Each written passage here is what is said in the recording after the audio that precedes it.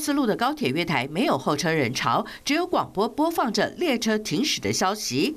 All services are disrupted due to the weather conditions. There are no alternative transport available. Consider other options. This may take a while. 告示板上显示所有列车班次全部取消的讯息。Seems to have been a condition of uh, you know wind, snow, and uh, and everything. So it's just to wait. 不止陆路，空中交通也停摆。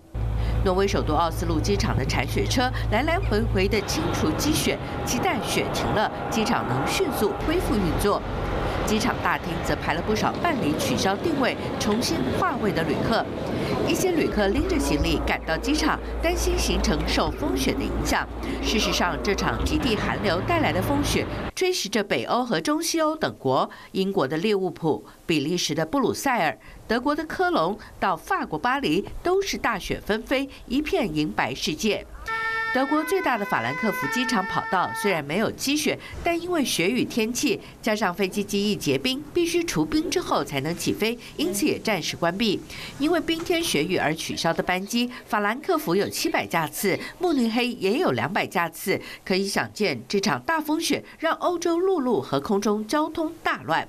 华视新闻综合报道。